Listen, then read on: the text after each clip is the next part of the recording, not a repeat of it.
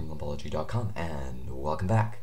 Before this video starts, um, don't forget to leave a like and subscribe, and even share this video if you can. So, in this video, we're going to be covering how to make an amazing save system. Well, technically, you're not actually going to make it. I just have a script, and we're going to like make a game framework and show you all the different things that this script can do. Um, yeah. So let's start by opening up Blender. It'll take a second to um, boot. So give it a second. Um, okay, here we go.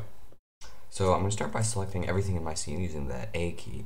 I'm going to press X or the delete key to delete everything in the scene. Press Shift S, and then go to cursor to center. Now what we're going to do is we're going to add a bunch of things the game's going to need to save. For start, we'll actually go to blend from Blender Render to Blender Game.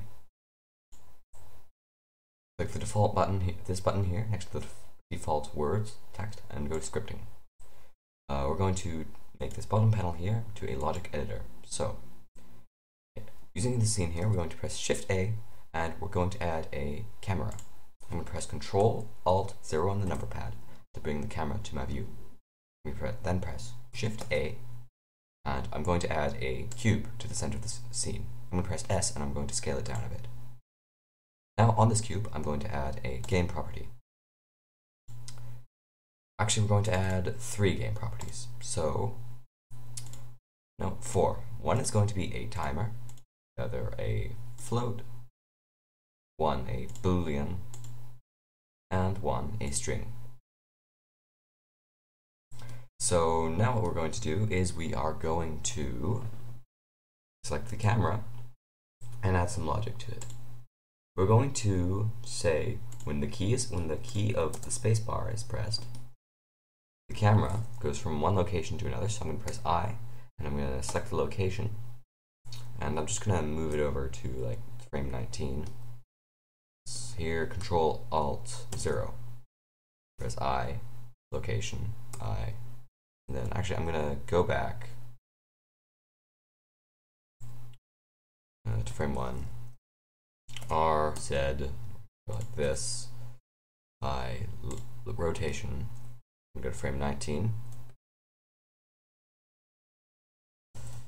which is where it is at, and then press R, Z. Okay, I have no idea where this thing is. R, Z, I, rotation. So I go back to frame 1, here we go, Alt A, there we go, quick animation. That's flawless.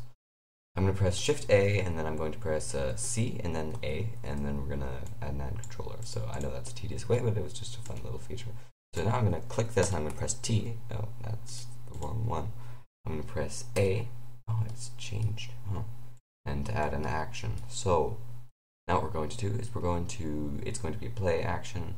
No, actually going to be a loop end and it's going to be this. So I'm going to play, play, play spacebar. I'm going to select this, select tap. Select tap. Oh, and I'm going to bring this to 1 and this to frame 19. 19, there we go. Uh, there we go. So, there we go. Um, and that's just that. Now this cube also is going to have something that is going to pray, say when the spacebar is pressed, then a bunch of things are going to happen. So I need four for each of these properties as well as another for motion.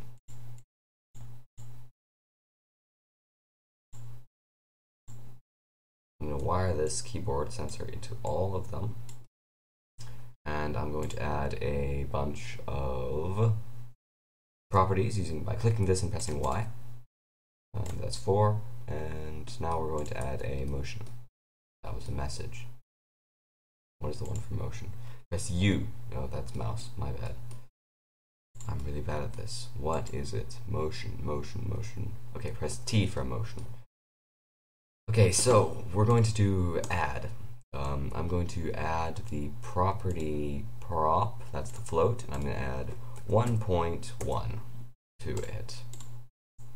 Now we're going to assign the, we're going to toggle the property of property 001. I'm going to select all of these and go down here and go to show debug properties. Uh, on this one, I'm then I'm going to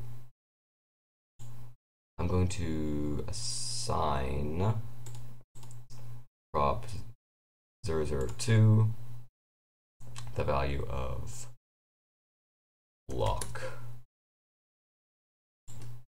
That's not how you spell lock. Lock. And what we're going to do in property 3 is we're going to sign... Oh, we got two float. Oh, that's a timer. And we're just going to leave the timer the way it is because timers automatically get bigger. So this works. To wire this into here. And it's also going to move it on the minus y axis. Minus y axis. Okay. So hit V. Okay. I'm going to escape. And now what I'm going to do is I'm actually, well, these strings are actually not working very well, so I'm going to go to the back frame. I'm going to add an, an empty plain axis there. I'm going to add a string string to it. Why did I just keep doing that for? It's going to be a string, and it's going to say lock. And so in this one here, I'm going to select the cube again. I'm going to go to the one that's for a lock and it's going to be a copy. And we're going to copy the property empty and it's going to be get prop. There we go. And so that's what we're going to do. P there we go. Press spacebar lock true and that is to 1.1 there we go. False true false true false true false. There we go. So there we go. Now we're going to import our save script. Um, so what we're going to do is we're going to tap open over here and we're going to, and you're going to want to download the uh, script from the description below. It's going to be called oh goodness, I can't find it. Gamesave.py. So there are a bunch of uh, save scripts out there. This is just the best one I've ever been able to think of.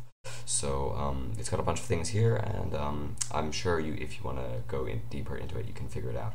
But really, you don't need to add anything here, unless you wanted to ignore things. So you go down, use some, use the things we got here to ignore things and stuff like that. So um, download that from the description below.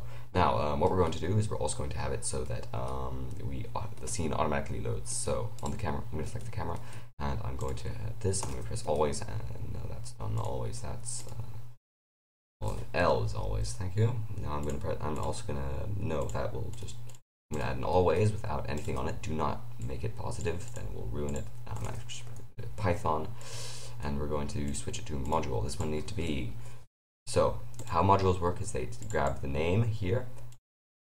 So this name is game save, and then it's dot, and then one of the definitions inside of here. So we're going to do game save dot load. There we go. So that's the definition load in the script. You can go looking for that if you like.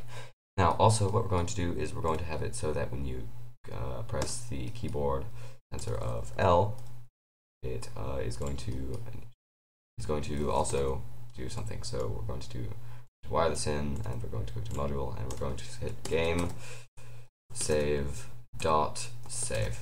So there we go, and it's going to all save this. Now we're going to need to put this into a directory. So here we go. We're going to press this, and we're going to press save, and we're going to. I'm just going to put it on my desktop, and I'm going to say uh, tutorial save system. There we go. So that'll assign it a directory, and there we go. So now what we're going to do is we're all, all just going to go to the camera, and I'm actually going to hit save again, so it works like this. And I'm going to tap P, and I'm going to tap, tap space, so it goes like this, and then I'm going to press S.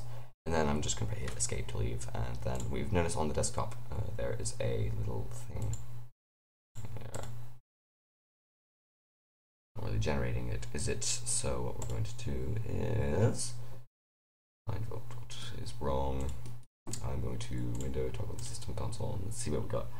Uh, just not open readconf. Okay. Oops, that was bad. Shouldn't have done that. So I run into problems like this all the time. It's just how animating and development works. So you're just going to want to look through things until you can find what the answer is. So always S, this probably just didn't initiate, so I'm going to tap this, I'm going to tap, and uh, actually I may as well put this to 100 so it doesn't like automatically go off instantly.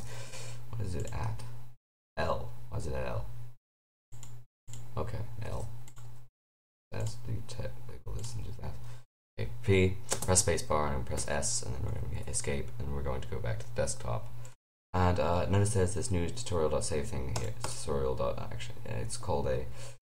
Let's see what it says. Tutorial.bgeconf. Okay, bgeconfig file. Um, and so I'm just gonna open with, and um, it's nice. Uh, it saves it so um, anyone who's smart enough with modding could figure out how to decrypt this.